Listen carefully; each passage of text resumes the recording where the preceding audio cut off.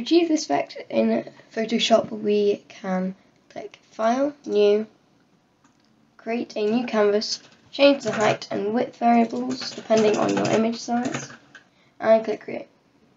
Now we're going to drag and drop in the image. I really like this one of the Tesla. Next we're going to use the lasso, uh, polygon lasso tool. This is standard will probably be the lasso tool. So just hold down and select polygon lasso tool. Now we can zoom in using the Alt and uh, scroll wheel. Select one corner of the number plate. Now, let go of the mouse and drag this line to the other corner.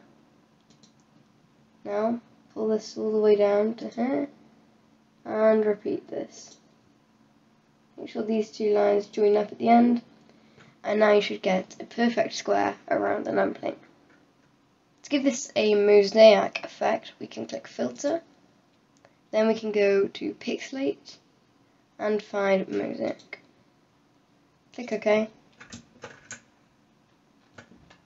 and that's the complete effect. Thank you for watching. Please subscribe if this quick tutorial helped you. I'll see you later.